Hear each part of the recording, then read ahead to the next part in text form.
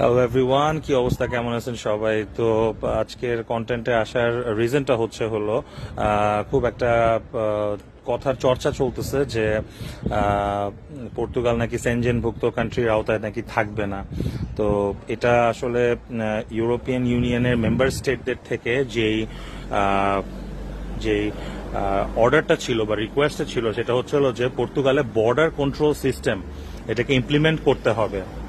অর্থাৎ বর্ডার দিয়ে এন্টার করার সময় ওদের যাবতীয় সমস্ত হার্ডওয়্যার ফেসিলিটিস থাকতে হবে যেখানে কার্ডের স্ক্যানিং ব্যবস্থা থাকবে। তো পর্তুগাল সেটা করতে অলরেডি ফেলিয়ার হয়েছে। প্রিভিয়াস যে গভর্নমেন্ট অর্থাৎ পার্টিত সোশ্যালিস্টরা তারা এটা করার চেষ্টা করেছিল, কিন্তু এখনকার যে বর্তমান যে গভর্নমেন্ট আলিয়ান্স ডেমোক্রেটিকা এখনও পর্যন্ত তারা এটা ইমপ্লিমেন্ট করতে পারেনি এবং আলটিমেটাম দেওয়া হয়েছে জুলাই পর্যন্ত। তো জুলাই পর্যন্ত যদি এটা বাস্তবায়ন করতে না পারে, তাহলে আলটিমেটলি যেটা হচ্ছে হলো, একটা পসিবিলিটি আছে সেনজেনভুক্ত কান্ট্রির আওতা থেকে যেটা হচ্ছে হলো বহিষ্কার হওয়ার বা এটা থেকে বের হয়ে যাওয়ার। একটা সাসপেনশনের একটা সম্ভাবনা থাকে। তো এটা নিয়ে অনেকে খুব টেনশনে আছেন। এটা নিয়ে আসলে টেনশনে থাকার কোনো কিছু নাই। ইউকে ব্রেক্সিটের পরে সেনজেন থেকে আলাদা হয়ে গিয়েছে।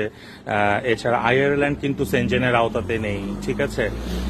সো এতে কিন্তু তাদের কোনো কিছু যাচ্ছেও না, কোনো কিছু আসছেও না। শুধুমাত্র তাদেরকে যেটা হচ্ছে হলো সেনজেনের মধ্যে আসার জন্য একটা সেনজেনের জাস্ট ভিসা আবেদন করতে হয় এবং ভিসা নিয়ে তাদেরকে সেনজেনে আসতে হয়। তো আলটিমেটলি তো পর্তুগালের কার্ড নিয়ে আপনারা বেসিক্যালি তিন মাসের বেশি স্টে করতে পারবেন না। লিগালি তো কোনো জায়গায় আপনি কাজ করতেও পারবেন না, ঠিক আছে? সো আপনাকে তো যেটা হচ্ছে হলো কোনো কোম্পানির থ্রুতে আপনার যদি যেটা, যেটাকে বলে যে পোস্টিং হয়, তাহলে সেই ক্ষেত্রে আপনাকে অবশ্যই যেটা হচ্ছে ভিসা অ্যাপ্রুভ করেই আপনাকে লিগালি কাজ করতে হবে, তাই না? তো আপনি তো এই কার্ডের বিনিময়ে শুধুমাত্র পর্তুগালে আপনার কাজ করার অ্যাক্সেস থাকে। এটা তো আর অন্য কোনো জায়গাতে আপনার অ্যাক্সেস নাই। তিন মাস আপনি অ্যাজ এ ট্যুরিস্ট হিসেবে ভ্রমণ করতে পারছেন। সো সেই ট্যুরিস্ট হিসেবে ভ্রমণ করার জন্য এরপর একটা জাস্ট ভিসা লাগবে। সেটা এমন কোনো কিছু না। তবে হ্যাঁ তাদের জন্য সমস্যা হবে যারা আপনার সেঞ্জেনের অন্যান্য কান্ট্রি থেকে উইদাউট আপনার ভিসা যারা এখানে মুভমেন্ট করে। আর যাদের ভিসা আছে, তারা আপনার সেঞ্জেনের একটা ভিসা লাগিয়ে তারা খুব সুন্দর মতোই কিন্তু আপনার পর্তুগালের মধ্যে আসতে পারবেন। তো এখন এটা পর্তুগাল আপনার সেঞ্জেনের মধ্যে থাকুক কি না থাকুক, সেটা এখনও হান্ড্রেড পার্সেন্ট শিওর না but there is a possibility of suspension from Schengen ঠিক আছে? তাতে আসলে মানে পর্তুগালের কোনো ক্ষয়ক্ষতি হবে এরকম কোনো কিছু না, ঠিক আছে? আর সেনজেনের ভেতরে না থাকলে এখানে অনেক অ্যাডভান্টেজেসেরও আপনার সুযোগ থাকতে পারে। যেমন এসআইএস সেনজেন ইনফরমেশন সিস্টেম সেই সেনজেন ইনফরমেশন সিস্টেম তখন মোস্ট প্রবাবলি পর্তুগালের জন্য কাজ করবে না, কারণ যেহেতু পর্তুগাল আপনার সেঞ্জিনের বাহিরে, ঠিক আছে, হয়ে যাচ্ছে। সো এটা এখনও কোনো কিছু নির্দিষ্ট না, এটা যখন নির্দিষ্ট হবে, তখন এটার ব্যাপারে হচ্ছে হলো নির্দিষ্ট ইনফরমেশন আসবে।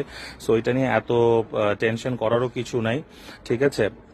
আপনারা অবশ্যই যেটা হচ্ছে হলো লিগাল প্রসেসে যারা আসেন, তাদের ভ্যালিড ভিসা বা ভ্যালিড প্রসেস অনুযায়ী আসলে কোনো প্রবলেম হবার কোনো সুযোগই আমি দেখছি না।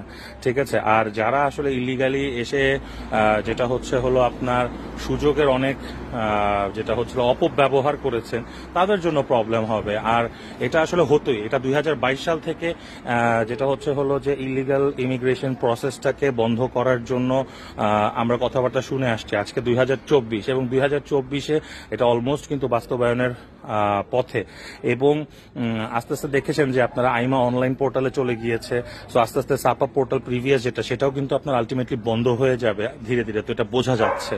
এবং আস্তে আস্তে ইলিগাল ইমিগ্রেশনটা বন্ধ হয়ে যাবে। এবং একটা সময় এরকমও হতে পারে যে আপনার মানুষকে দুই বছর আর ওয়েট করতে হবে না। মানুষকে যেটা হচ্ছে হলো আপনার আসবে আইমা পোর্টালে অথবা আইমাতে ডাইরেক্টলি গিয়ে অ্যাপয়েন্টমেন্ট নিবে লিগাল এন্ট্রি থাকলে, ঠিক আছে, ইত্যাদি ইত্যাদি সেনজেনের মানে ইত্যাদি ইত্যাদি আপনার যত রকমের প্রসেস আছে এবং তারা ডাইরেক্টলি ডেট পেয়ে যাবে। সো প্রসেসকে স্পিড আপ করাই হচ্ছে হলো দরকার।